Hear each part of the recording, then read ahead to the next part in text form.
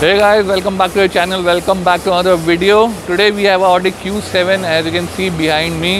तो इसमें एसी का इशू है। जो एसी गैस डालते हैं वो इसमें टिक नहीं रही। बेसिकली कहीं ना कहीं से लीकेज है। तो आगे से चेक कर लिया आगे कहीं ऐसी लीकेज हमें मेजर मिली नहीं। तो अब पीछे इसमें एक्चुअली दो कूलिंग कॉयल होते हैं। एक आगे डैशबोर्ड में और एक पीछे पीछे रेयर एसी के लिए। तो सबसे पहले पीछे वाला खोल के देखते हैं कि कहीं उसमें लीकेज तो नहीं है। अगर उसमें हुई देन हमें प्रॉब्लम मिल जाएगी।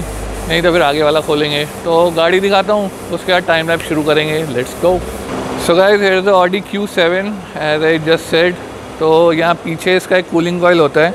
सबसे पहले वो खोल के देखते हैं because that is the easier पता लगा कि हमने आगे डैशबोर्ड खोल दिया और वहाँ लीकेज नहीं मिली लीकेज पीछे दी। तो इसलिए पहले ईजियर वाला खोल के देख रहे हैं। अगर यहाँ मिल गई देन प्रॉब्लम मोस्ट प्रॉब्लम मिल जाएगी। अगर यहाँ नहीं मिली तो फिर डैशबोर्ड खोलेंगे। तो गाड़ी में आपको एक बार चेकआउट करवा देता हूँ। This is how the car looks from the inside. और आगे से कुछ ऐसी दिखती है। So this Q seven I think 2011 या 2010 वेरिएंट है ये। तो कैमरा में सेटअप कर रहा हूँ अभी ट्राईपॉड पे। उसका टाइम लैप शुरू करते हैं।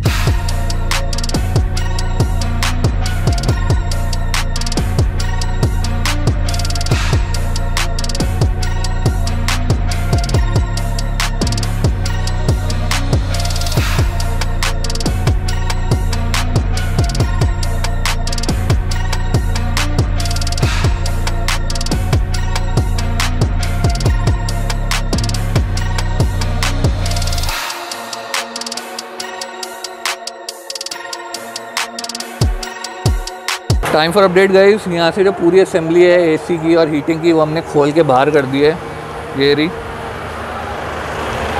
तो इसमें ये है इसका हीटर कॉयल ये देखो कूलेंट की पाइप्स और इसके अंदर है इसका कूलिंग कॉयल और इसको निकालना बहुत मुश्किल था, और ये इसका ब्लोर है, आपको इधर से दिखेगा। ये देखो, ये इसका ब्लोर है। तो सारी पाइप्स इसकी डिस्कनेक्ट करी हैं, ये देखो। तो अब इसमें से बेसिकली कूलिंग कॉयल निकालना है। वो नीचे वाले बॉक्स में है।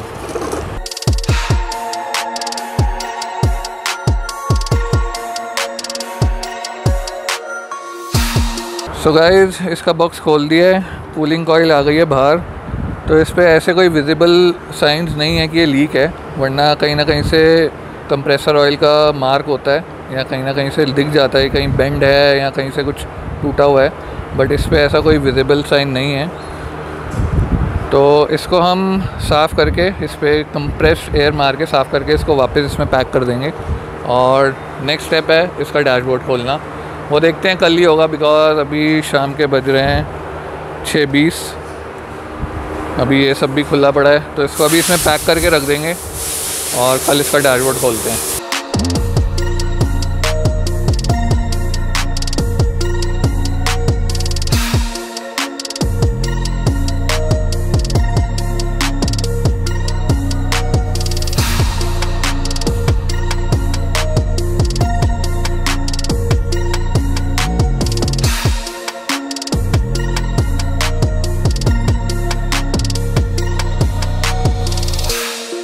गाइस इसको कर दिया वापस पैक वापस अंदर लगा दिया है। बस पाइप्स वगैरह फिट करनी है। तो देखते हैं डैशबोर्ड मोस्ट प्रॉब्ली कल सुबह ही खुलेगा। बट अभी थोड़ा टाइम है हो सकता है अभी थोड़ा बहुत कुछ छोटा मोटा खोल लें।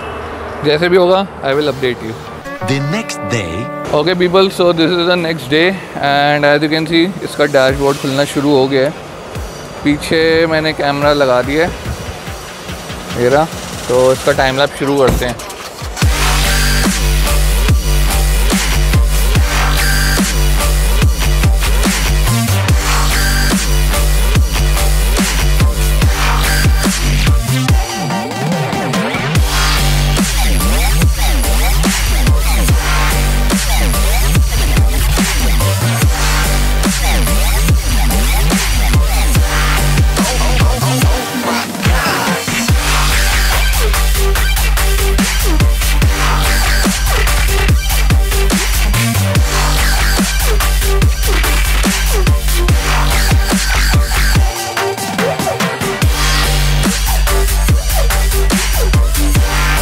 So time for another update guys as you can see ये सब खुल गया है।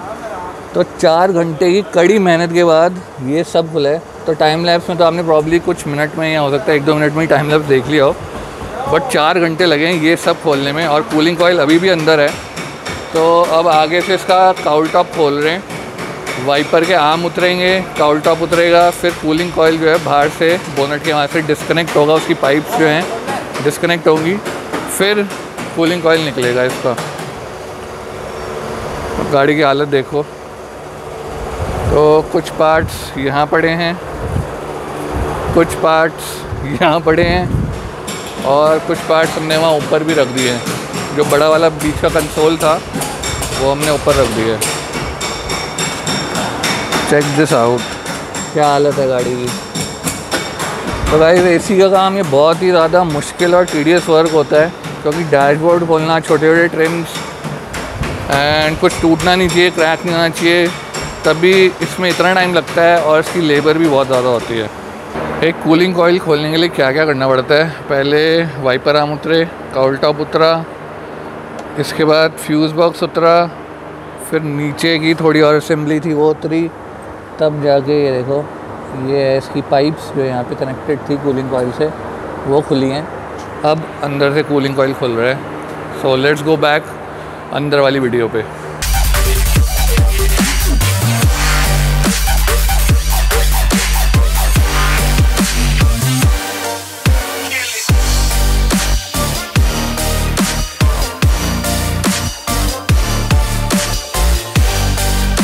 So time for another update guys as you can see अंदर का पूरा एसी का डक्ट यूनिट पूरा प्लास्टिक वाला बाहर आ गया है। और इसमें पता नहीं कितने घंटे लग गए। हमने साढ़े दस बजे सुबह काम शुरू करा था, चार बजने वाले हैं। आप सोच लो, इतने घंटे में ये सब खुला है। बाहर से भी खोलने बहुत टाइम लगा। और अब जाके देखो, ये निकला है। इसके अंदर है cooling coil as three Sachin खोल रहा है। तो इसका छोटा सा टाइम लैप शुरू करते हैं, जब कूलिंग कॉयल निकलेगा। कैमरा लगाया हुआ है so let's start the time lapse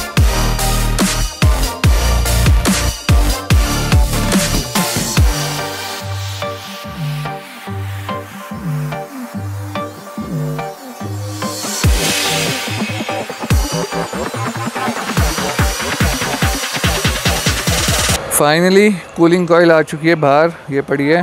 तो अब नहीं मंगाते हैं उसके बाद आएगा प्रोसेस शुरू होगा। तो ताम जाम देखो कितना खुल गया है वो हीटर कॉयल पड़ा है ये सब खुला। आगे से इतना सब खुला है अंदर से देखो। सबसे मुश्किल काम होता है यार ये कूलिंग कोयल चेंज करना। ओके गाइज़ ये अपडेट है दो दिन बाद का। फाइनली इसकी नई कूलिंग कॉयल आ गई है as you can see brand new और उधर पुरानी पड़ी है। सचिन एक बार इसके साथ रख के दिखाना। ये देखो। सो so, सेम है। चलो इसको फिट करते हैं और इसका टाइम लैप शुरू करते हैं।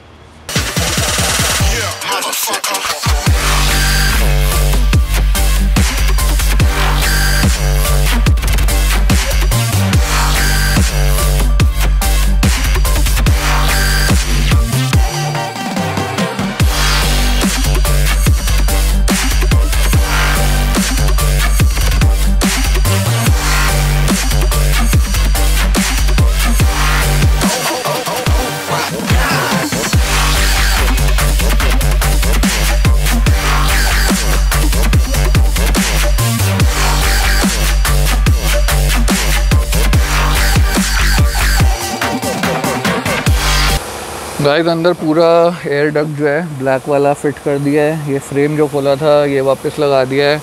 अब सचिन बाहर से जो एसी की पाइप्स हैं यहाँ पे एज कैन सी ये सारी फिट कर रहा है। वो बहुत टीडियस काम है। आज भी सुबह दस बजे से लगे हुए हम। पहले इसमें कूलिंग कॉयल बिठाया ब्लैक वाले जो आपने टाइम लैप सीखा फिर इसको इसमें बिठाया बाहर चल रहा है। तो दस बजे से लगे हुए हैं, पौने बारह बज गए हैं। और अभी ये सारी फिटिंग करनी है, आगे से सारी फिटिंग करनी है, पीछे सारी ट्रिम्स खुली पड़ी हैं। ये देखो। ये सारा सामान खुला पड़ा है। कुछ सामान एज आई टोल्ड यू वहाँ ऊपर भी पड़ा हुआ है। लेट्स सी आज ये गाड़ी देनी है। होपफुली लेट्स सी होती है कि नहीं।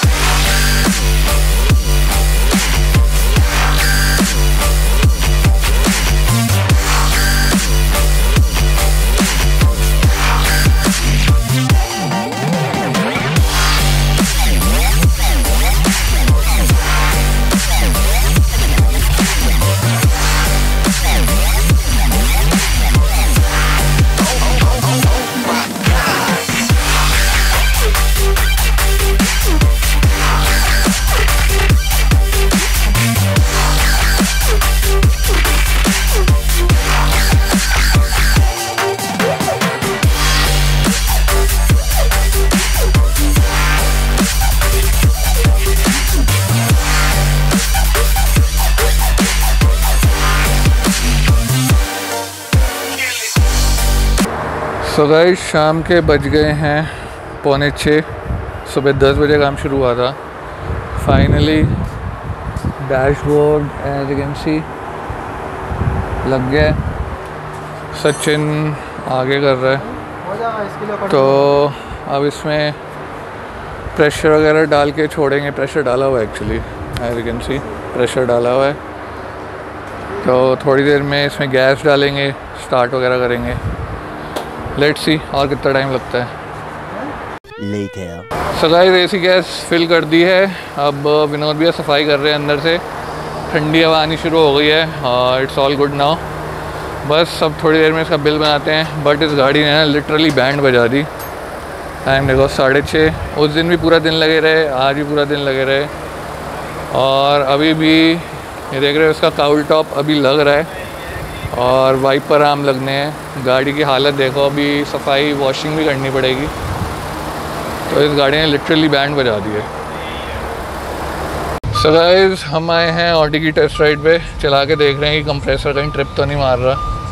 एंड कार इज़ रेडी बस या वॉशिंग होनी है। बाहर से हालत देखो। तो बस ट्राई लेके जाते हैं वापस वॉश करते हैं गाड़ी एंड बिल बनाते हैं इसका।